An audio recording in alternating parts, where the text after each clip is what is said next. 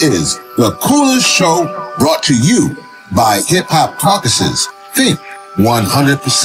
It's the coolest show you know, keep the culture connected. It's the coolest show you know, in your ear, yeah, respected. Expert level information, entertainment, education. Rev here, we got you covered as you hit your destination. Climate rules everything around me. Cream. For those who lost focus, close your eyes and just dream. Open your third eye, now the world is your off. Coolest, coolest show you know, it's the hip hop call.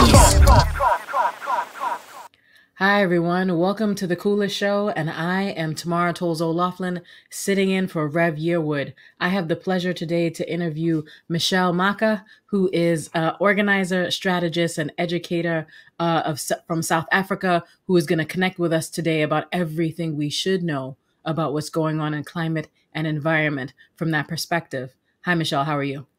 I'm very well, thank you, Tamara. How are you?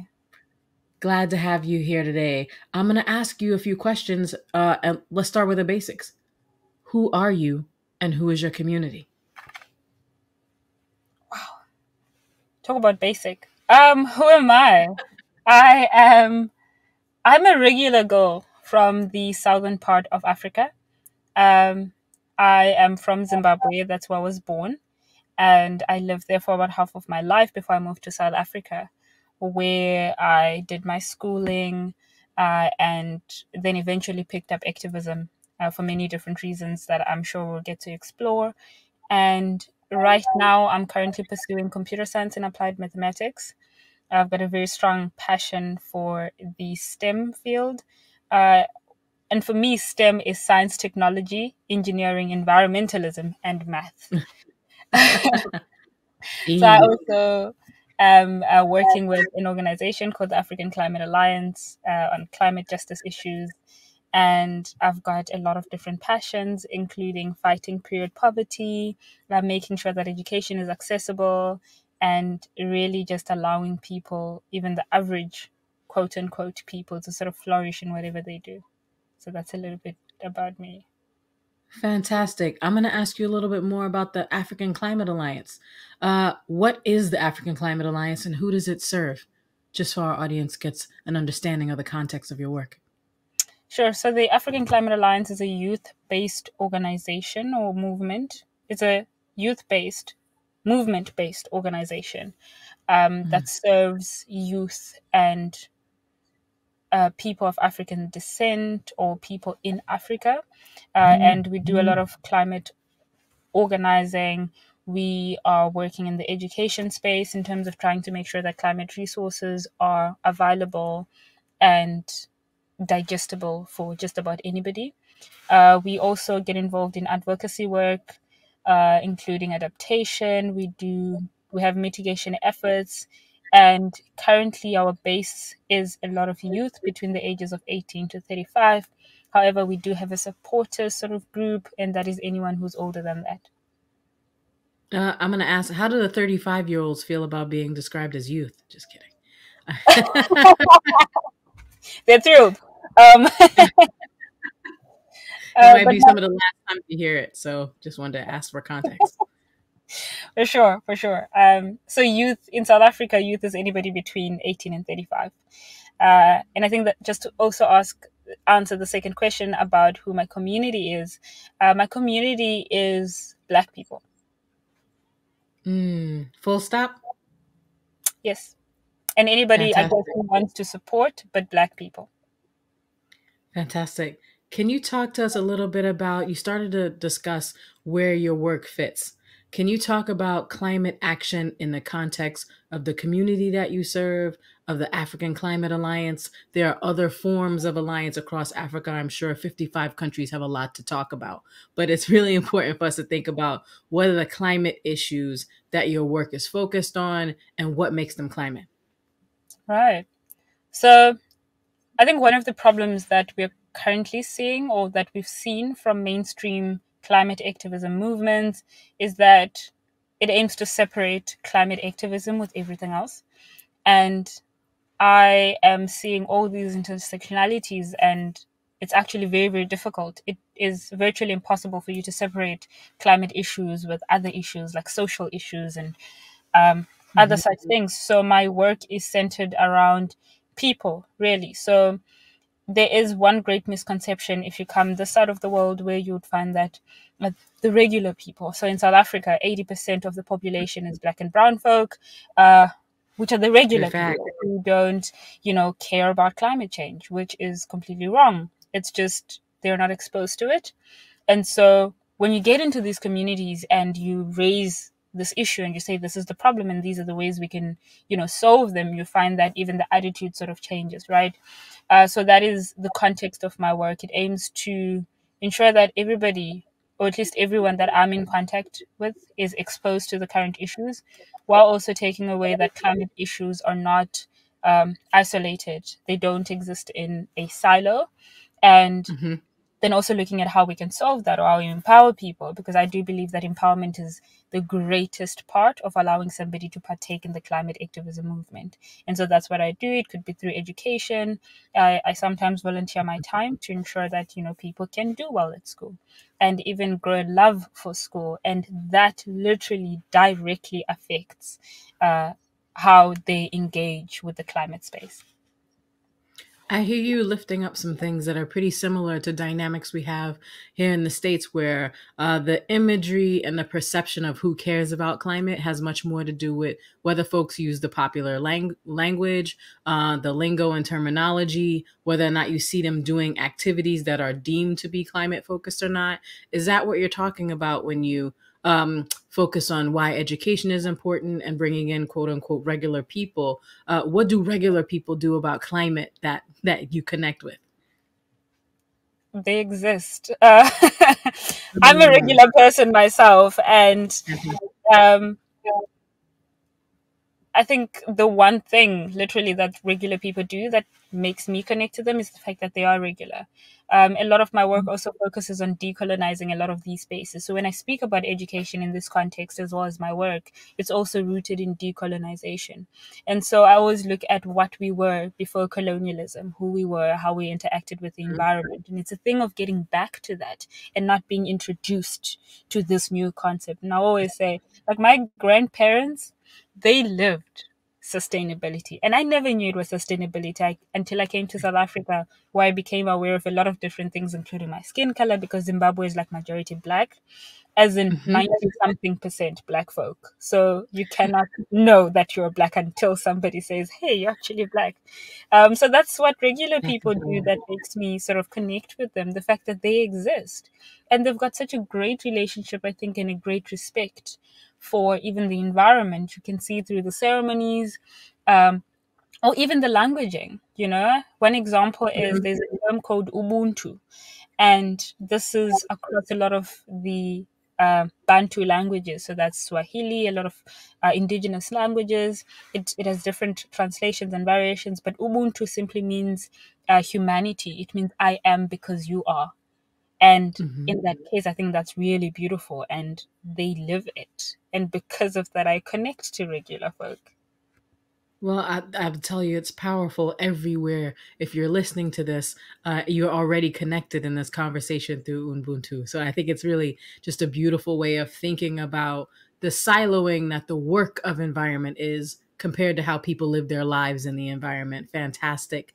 I'm going to talk to you a little bit more. So, here at the Coolest Show, we think a lot about culture, about how we interact in it and how it creates the conditions uh, that give us the power or diminish the power that we have to operate outside of our community. Um, how do you see culture in connection to struggles for human and environmental rights? And what a, you actually started to talk about it a little bit in terms of the language and how people see each other and the behaviors of our um, recent ancestors, not just our long and distant ancestors. Talk to us a little bit more about culture, human, and environmental rights in your work.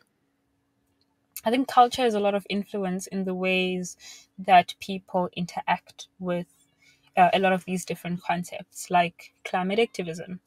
Um, you know, recently I was a co facilitator for an environmental education workshop and here we aim to break down what environmental education was and also give people necessary tools to be able to replicate what we're doing and even make it better.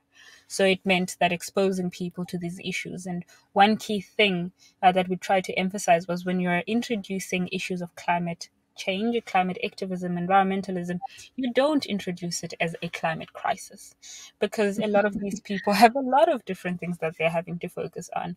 So it becomes far removed. But if you introduce it as gardening and how that affects uh, your ability to put food on the table and how picking a single piece of plastic and making eco bricks is a great change because then you're living in a cleaner environment. You find that people are a lot more receptive, receptive because they can connect. And what I find is there's a massive cultural barrier that comes with the languaging used in this space. Uh, example right now is right now we're using English and it's allowing us to connect, but Okay. it's also causing a greater divide to all of the people who don't understand English, which is possibly 50% of the population globally. So when I look at these things, we look at, I want to explore how things like that affect and influence culture. You find that there's a great movement right now of people who are quote unquote going back to the roots. So they've taken up Mhm. hiking again, um, connecting back to the idea of being one with nature, which would Mhm. mean that, you know, climate activism, in a sense, ceases to exist to them because how I sort of see climate activism is it's a bid to connect us back to the environment, thereby causing us to care about the environment, meaning then we can care and take care of this thing that we care about. But culturally speaking, the environment has always been a part of uh, Black folk we can take it to uh, far back ancestors and even the recent ones just before colonialism and apartheid and other such things, you find that there was a great relationship with the environment. People were hunter gatherers. We can't hunt or gather anything right now in the midst of this concrete jungle. We are literally removed from our natural sort of um, habitat. And I think the culture, in that sense, because I think there are many similarities in culture across the African continent. Um, Mhm. and one massive one is the ability to get back into the greenery, the forests, and feel like you're home, in a sense. So, those are some of the things that I'm always trying to explore, and how, you know, in conversation, one thing that I've learned is when you approach such conversations, you don't approach it from a I'm a climate activist, I care about the environment, and so you should too you approach it from a let's talk about the environment. How do you feel about it? What does it do? How does it serve you? And you find that a lot of people are actually quite distressed about the current state of the environment, and they don't know that it's an environmental issue or a crisis. So it's not that they're not aware, they're just not aware of the languaging, and that causes a big barrier. So I, I, I hope that answers that. No, I I'm hearing some really similar uh, notes from the activists across the diaspora here in the U.S. have also raised that the question is not whether our communities, uh, Black people, care about the environment; it's whether we care about talking about it in ways that get funded, in ways that are seen as programmatic, in ways um, that can be siloed and broken up into annual uh, metrics for how work happens. All of these things are happening at the same time. And so the question is, are we measuring the culture or is the culture um, bigger than than the work itself? And I think it's pretty easy to to say that the culture is paramount, which is why we spend so much time thinking about it here on the pod. Um, I I really would like you to help us understand your work. You talked a little bit about um, the barrier of language, about connecting with people and the need to be outside, about urbanization. That's what I hear when you talk about uh, the concrete jungle. I'm from New York, which is a concrete jungle for sure. Uh, but but I, I'll flag that um, we built the city out of country. So, what does it mean? What is the struggle against? Is the education a struggle against people having the right language? Is the struggle for a return to um, the use and utility of the environment in every form? Like, what is the struggle against? What is a win? And how do you make that happen in the context of the African Climate Alliance? the struggle is against colonialism. Say more Uh, about that. and colonialism comes with or came with and still has a lot of these uh, different problems, right, that we're still trying to f- find solutions to. One being um, in the context of South Africa, um, apartheid introduced the Bantu Education Act. And that meant black folk would have a lesser quality or lesser access to, uh, they would have access to lesser quality of education. The education they would be receiving would allow them to be house girls and garden boys and other such things, while their counterparts received really good education and went on to participate into this economy and even build uh, the economy and amass wealth or make bigger the wealth that they had inherited from um, the systems that were set up to sort of benefit them. And so that we haven't moved away from. We haven't moved away from the fact that currently black people still do not have access to education or they don't have as much ac- access to education. Education in South Africa, and I think anywhere, costs quite a bit. You take that and you give it to people who live majority in what I can only describe as tinfoil houses because it's zinc Mm. structures. It's four zinc structures and a makeshift roof a lot of the times.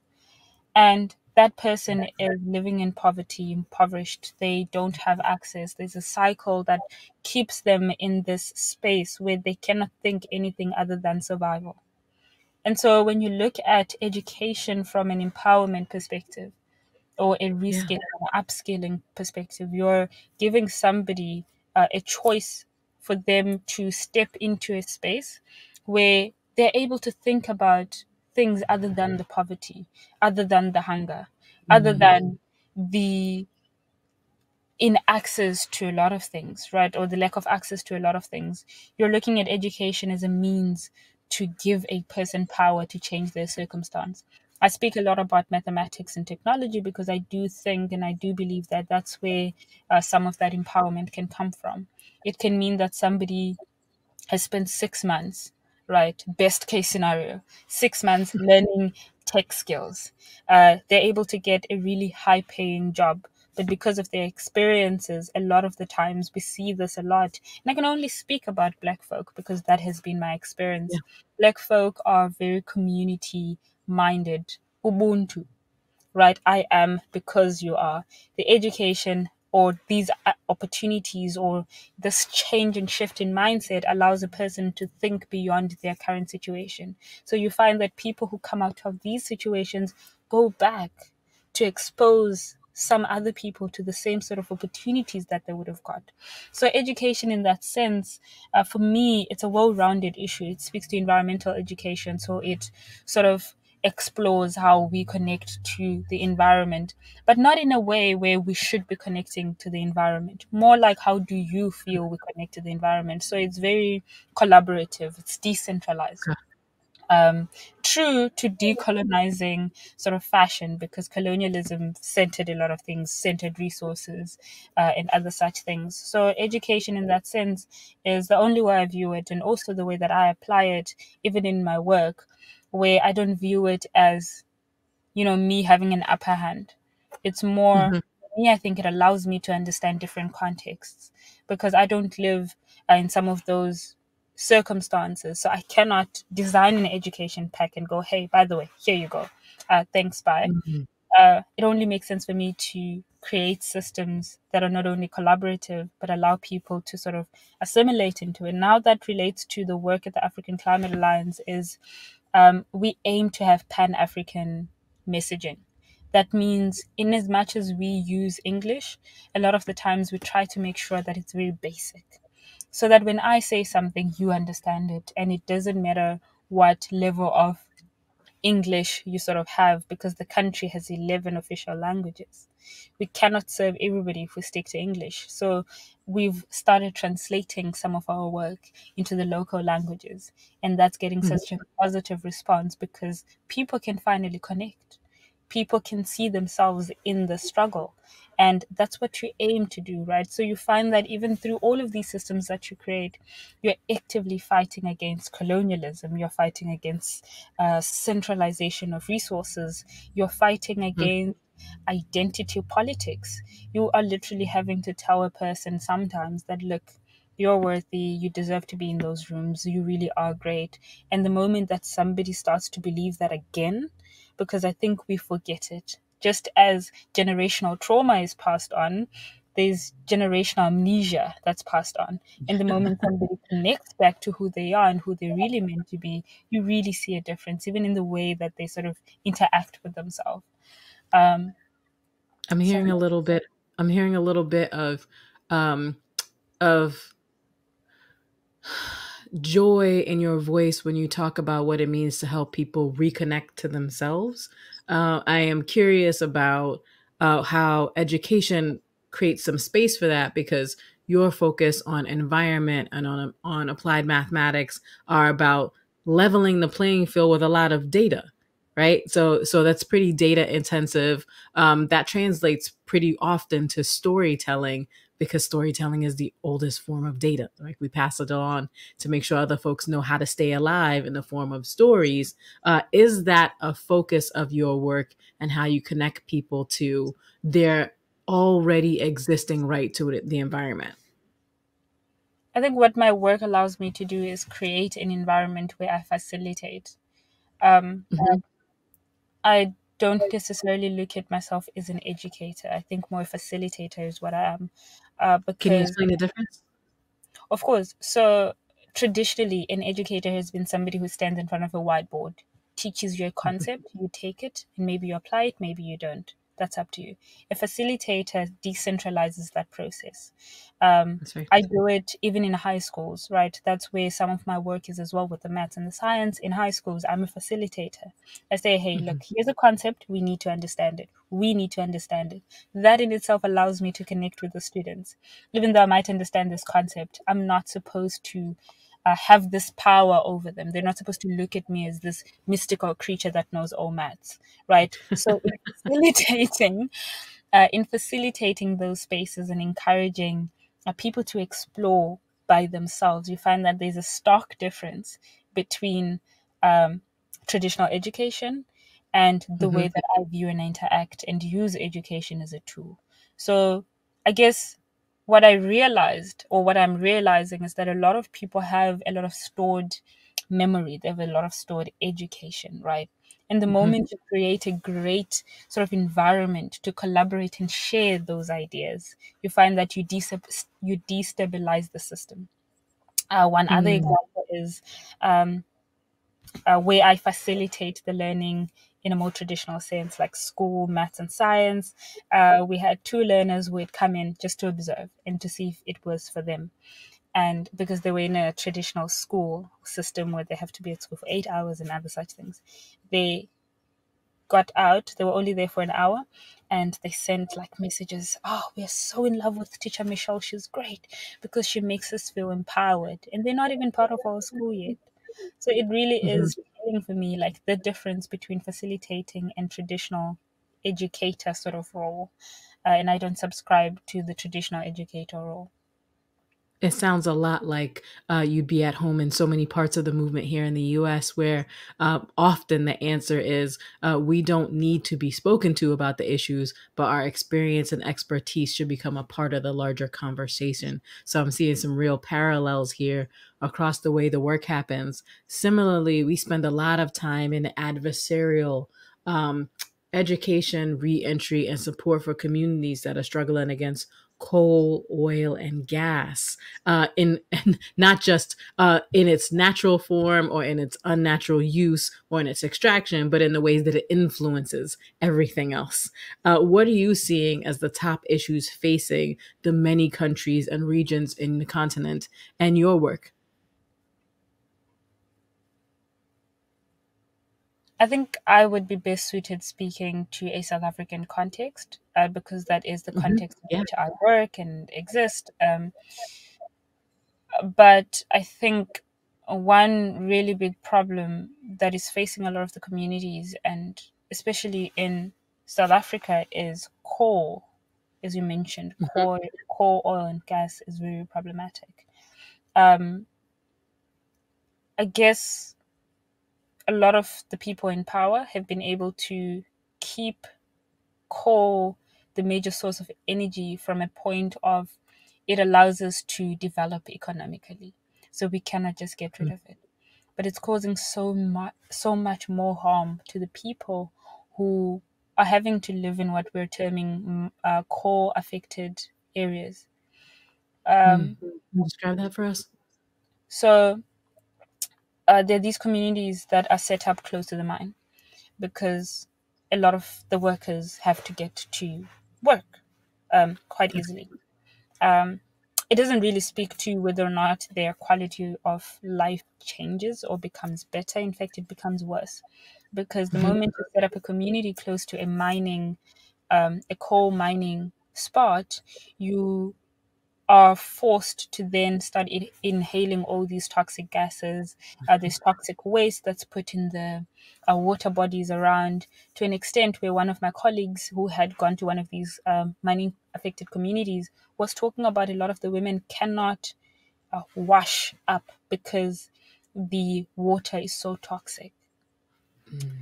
So then you start looking at it like that. Um, and I think it's between Tanzania and uh, Uganda where there is potential to develop uh, another fossil fuel line running through the countries. And so many people, I think about 9,000 people, I, I, I speak under correction, were forcibly moved from this area to make space for this new pipeline and that is affecting so many communities um, across the three countries South Africa, Uganda, and Tanzania.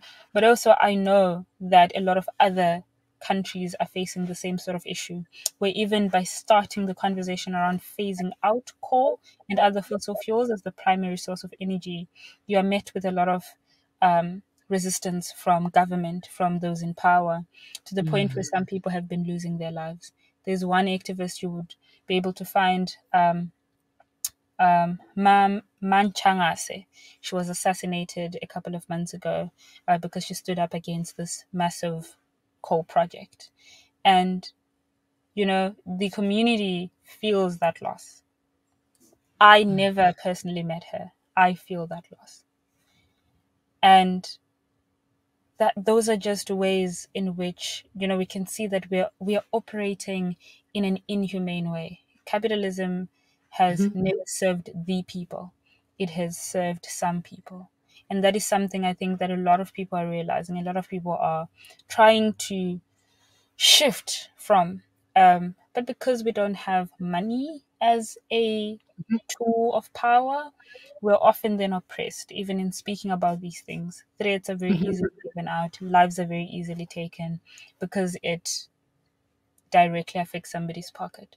So people are being affected i think in varying ways uh, and more especially i think coal is one that affects directly people from coal affected mining areas uh, and then other such things then contribute to all of these South Africa has been named the most unequal society in the world. That, for me, only screamed we have not moved away from colonialism. We have not moved away from apartheid. Actually, uh, if you drive in Cape Town, it's actually very, very scary that you can see the aparthoodness. Like on this one side, you know, have all these you can physically see it. you can see it. You can feel it as well. Um, and that in itself is a challenge because people are not then able to fully exist as themselves if they're having to fight poverty, um, if they're having to deal mentally with the effects of poverty. So I think really there are a lot of problems uh, that we have, but I think coal is one. Um, the African Climate Alliance, together with other organizations, are actually taking the government to court to take to phase out the coal that they had proposed in uh, the energy framework for I think the next five years, and Mhm. we know that's inhumane. We know that's detrimental to the environment, to the people, and it's not going to work. So we've we are take we're in the process of uh, taking the government to court in that regard. Um, and yeah, we also understand the risks that come with that, but we we can't sit back and just watch. You've talked about some issues that are really familiar to our listening audience. Uh, uh, uh, many conversations uh, we have discussed uh, sacrifice zones or the areas right around where something that is polluting your community that you are not asked to come in, that might become a source of your employment, also becomes the thing that signs your your um, your uh, autopsy when you die. You know, like you you shouldn't have a job that shortens your livelihood. You shouldn't have a job that makes it hard for the air you breathe to be safe for you. You shouldn't have a job uh, that pollutes the water. And I'm hearing so many alignments and similarities across issues around communities having to fight, and some of the advocacy pieces taking uh, your government to court to to lift up the idea that its job is to protect the citizens not to form alliances with industry. Um, can you talk to us about other issues that you are seeing and facing and building solutions for? I know many of us uh, in the listening audience are reeling from the latest IPCC assessment, not because it said a lot of things that were new, but because it, it said things that we have been complaining about, uh, making demands about recommendations to end uh, coal, oil, and gas and fossil fuels. Can you talk to us about the other issues that are also showing up in your context and how uh, these kinds of assessments or multinational conversations about climate help or maybe don't help?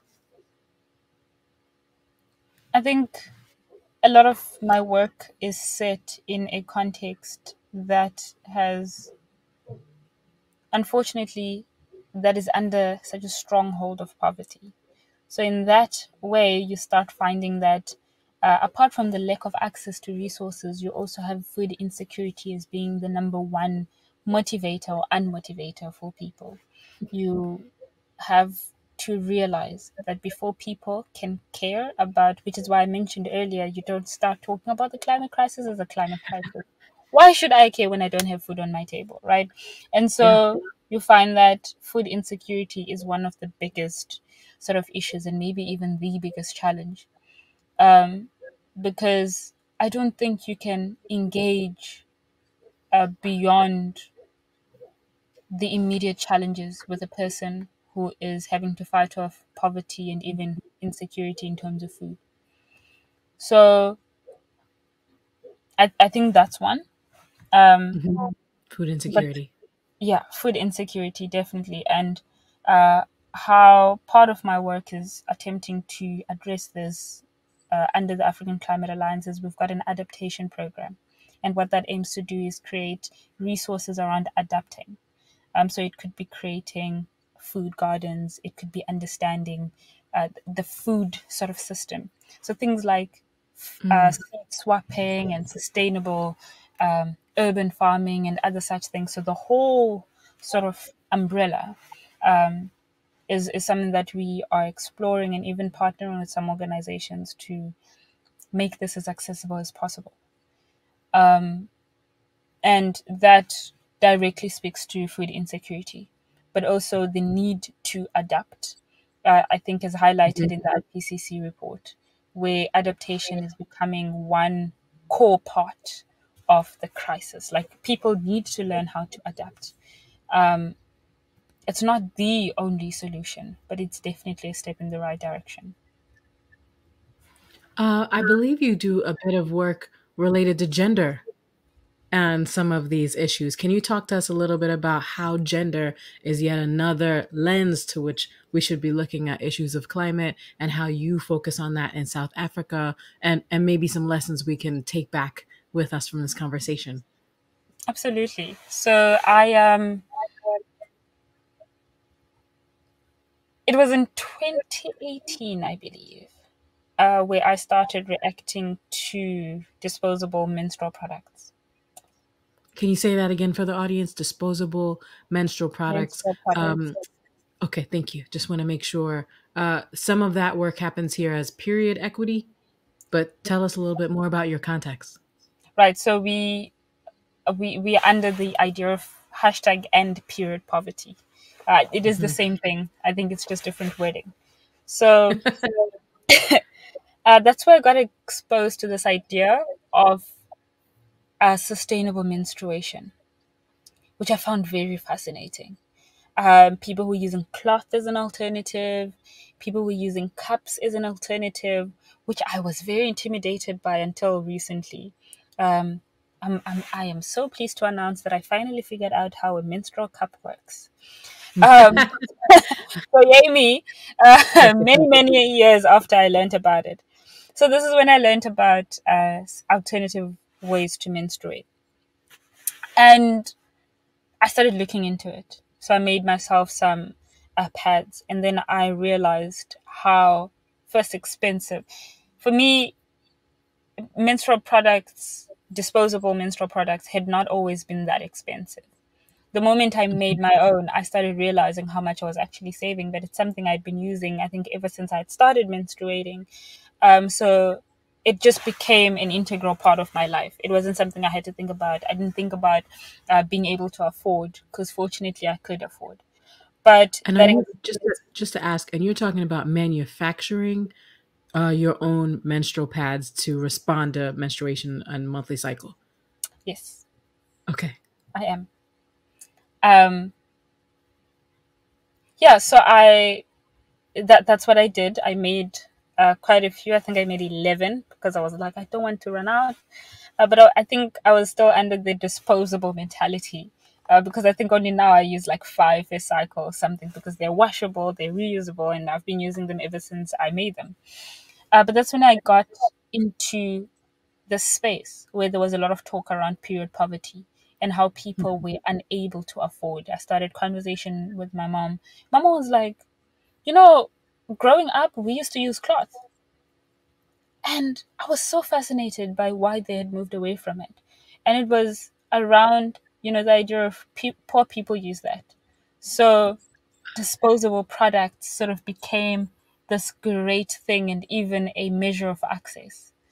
Um, and I started exploring that. I started hearing these beautiful stories about my grandmother um, who's always been good with her hands, mind you. She's she sews, she does a lot of really awesome stuff, and I started exploring it. And through ju- that journey, I learned a lot about how about one in ten girls across Africa is unable to attend school for the duration of their menstrual cycle. Uh, okay. A because they cannot afford menstrual products, and which which then affects their ability to be in space with other folks. Is that cultural or is that literally just about being able to be in the same room as other folks? It's literally about being, for me, I think, about being in the same room or being able to be in the same room with other people.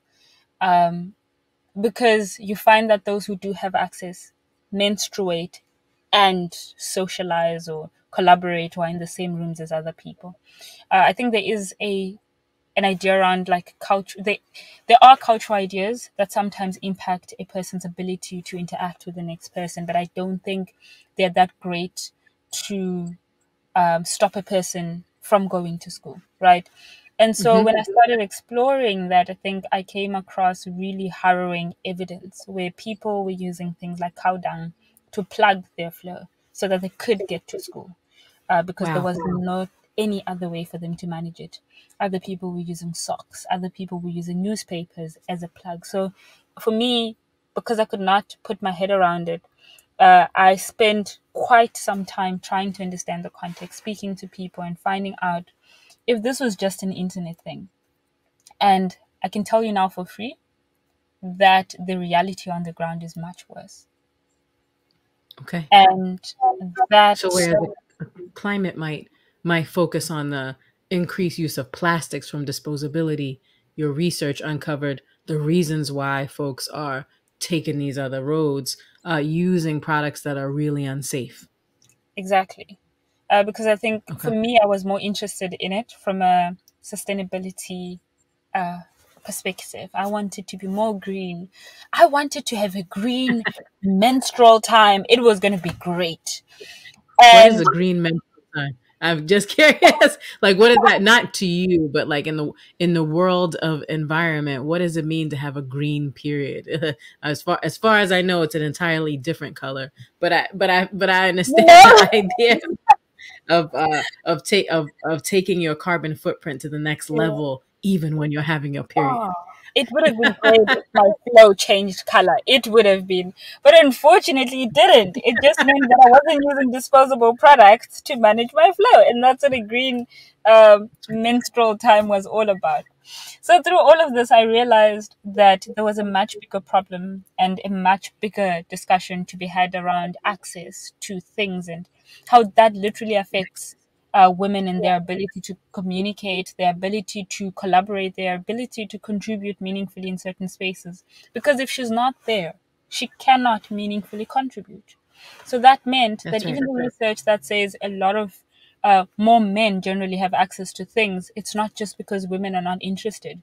It's because they, one in 10, are affected like this to, to the point where, you know, some of them one 10 women. One in 10 women, one in 10 girls, uh, school going children, uh, cannot go to school because of a lack of access to menstrual pro- products. And that directly affects even the so if you're looking at it from a country's perspective, you're looking then at the ability of that person uh, to meaningfully interact, meaningfully contribute, finish their education, thereby becoming a number in the space where they're another lawyer, another engineer, and other such things. So that direct, directly impacts uh, the number of women we're outputting um, in a lot of these industries. And that link, I feel, a lot of the times is not made. And it then, again, I think speaks back to what I do in education and empowering and allowing uh, more people to go into the space. So I, this might be my bias, but I am very much under the impression that if you give a woman something, she is able to do wonders with it. So if you give a woman an idea, she can uh, rally up a community and they can go behind it. And it speaks to empowering women. If you are able to empower women to take these very important decisions for their own lives, you are able to create sort of like really strong communities because they are guided. Um, and the, the value system, I think, even changes when you're exposed to certain rooms and people and um, other such things. So, that I think, in a nutshell, is currently what I'm working on. I'm trying to locally sourced material. I'm trying to repurpose mm-hmm. material, also talking to uh, textile waste and wanting to redirect that into making these reusable uh, menstrual pads. And maybe in the near future, we might be looking at cups. But I recently discovered, after fighting with one for three days, um, that it's not as accessible as it's made to be on the internet. so I'm I'm hearing from you that um, the gender issues create issues of accessibility. So, not being able to have an interaction with your own body that doesn't exclude you from uh, resources and from conversations and from community means we are losing out on the voices, the intellect, and the understanding of an entire part of the population. And so, the work that you're doing on period equity uh, is not is not very dissimilar and is in fact entirely tied to uh, community building, resourcing, and the environment, as well as the issues of um, care and repair around not being exposed to toxic products. So it feels an awful lot like the issues that you are focused on are so very tied uh, to those happening in the uh, diaspora experience everywhere. And so, Mitchelle, it has really been uh, incredible to have this conversation with you about the ways that you're approaching environmental issues, about the landscape in South Africa. I just have one more question for you about Black youth organizing and any thoughts you might want to share with our audience about that uh, before we begin to conclude.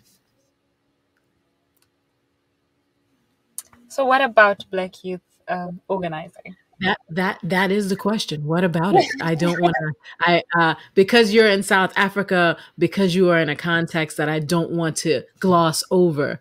Tell us what Black youth organizing is in South Africa. Who's doing it? Uh, you already mentioned earlier that the youth uh, are, are can have gray hair around the sides. With it? Uh, 32, 35, 34. You know, so just want to uh, uh, paint us a picture of who is doing Black youth organizing and what are they focused on. Black youth are doing Black youth organizing and they're focusing on a lot of different issues, including issues of decolonization. And I think when I use the word and the term decolonization, I really speak to uh, allowing people to have access, which is something that they have not been able to have uh, historically. So allowing them to be able to really just exist. Because I think when you're a Black person uh, in any diaspora, you find yourself not fully existing to an extent Even which even in the context of Africa, where most people are black. Just want to flag that so much of our audience lives uh, uh, an existence where they are not consistently surrounded by a majority population, and so really want to pull out that that distinction. People Mm. feel invisible even in this context doing environmental work. Why is that? I think because of the way that the professional environmental landscape is set up, um, there's a lot of performative um, theatrics that you have to subscribe to. There's a lot of uh, censorship. There's a lot of taking away from who you are and trying to fit into this little box that allows you to be palatable to a wide sort of audience. And that is very problematic and it is stifling for Black youth. You're finding that um, a lot of the time, there's one thing that really annoys me is when somebody comes up to me and says, You're so well spoken. I'm like, I'm. Uh, unfor- unfortunately, I would say that that's a global phenomenon. You're so articulate for a person who's dug down deeply to really study a thing that you care about. Isn't Right. it shocking how well you talk about your life's work? Uh, so it's good to know that regardless of where we're sitting, we're having such a similar experience. No, I can you, can you say more about um, uh, the performative aspect? So you talk about what we can aptly describe as the white gaze, like what kinds of tactics Hmm. meet that criteria, and why would Black youth in climate need to do that in order to do their work? I think what's happened, and you also look at the pool of funders. I don't think we have enough funders who are people of color. So you would find that because a lot of this wealth is in the hands of white folk, you are having to create an idea for them to trust you with their money. Because I think it Mm. also has a lot to do with like a saviorism complex. If I give this to this person, will they run away with it? So you have Mm. to, and this is what I'm finding a lot of, you have to create an idea closest to a palatable um, version of yourself as possible that allows you to engage with these people in a quote unquote safe zone. Uh, might not necessarily be safe for you, but it definitely makes the next person you're engaging with somewhat safe because then that way it creates this idea of trust and it also speaks to again decolonization because if we start decolonizing the ideas of professionalism and realize that sometimes even this conversation that we're having um, with all of the laughing in between and all of the joy that's in between it is professional. And we should not Yeah. seek to to be confined in this little box that says you're only professional if you wear your hair a certain way. You're only professional if you speak a certain way. I always say to people i actually dislike the fact that i don't have a more like i have a more neutral tone so people find it a little bit difficult to place me. Like where are you actually from? And i'm like well i'm i've, I've been around. Um, and a, a big part of me wished I did this work with a really strong indigenous English accent, where I said, Ah. you know, um, I don't know, I, I- I can't really think of something No, right no, now, So, but so just just to clarify for our audience, you're talking about being palatable to people external from your experience. yes, and, yes, and the performative work of black climate youth in your context means making yourself accessible to people who are not experiencing the harm exactly. Okay. Because what you find well, is in spaces with people who so in, in in spaces where it's majority black folk again 11 official languages across south africa you are bound to come into contact with a lot of different people. That in itself um, is actually a wonder because when you are interacting with these people of different cultures and different languages and other such things you're not having to change yourself because you're interacting with a fellow black person. The moment you step into boardrooms the moment you're in meetings with these people you're having to and this is why i do the work that i do because it's really really just great. And um, yeah it'd be really great if you come on board which is performative in it so i, I think we can all sort of um, you know, mess around with our tone to become a little bit more color. I think a lot of black people are very familiar with that. yeah, we here we call it code switching.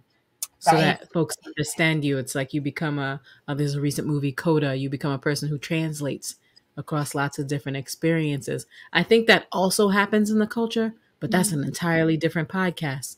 Uh, I have to say, it's been an incredible conversation with you. I think we could go on. There's so many more questions that I have about how your work is happening, your vision of the future. I'm going to end on this last question before we close out. What are you fighting for, and how can we support you? Oh, what am I fighting for? Um, in a nutshell, I think I'm fighting for justice. I fight for gender equity. I fight for uh, racial equity.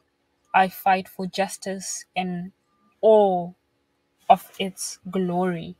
Um, the one best way to support, I think, one would be to educate yourself around the issues uh, that you're trying to help in. A lot of people then fall under the guise of being a savior, even when they don't want to, because it's what they're exposed to. So, to educate yourself around the context and to really just adopt a collaborative mindset. Um, furthermore, I I am I, I, I think I mentioned extensively the work that I do with the period poverty space. Um, in the coming months, I hope to have been able to establish um, a base here in South Africa, which is looking like it might not necessarily happen uh, for many different political reasons, including the government just deciding that all foreign nationals must leave. Um, so that might impact what I'm able to do in South Africa. However, in the next coming years, this is not something that's going to die just because I live South Africa.